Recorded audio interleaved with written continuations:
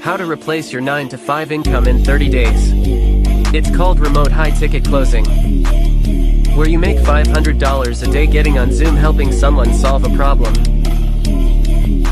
DM sales to learn more.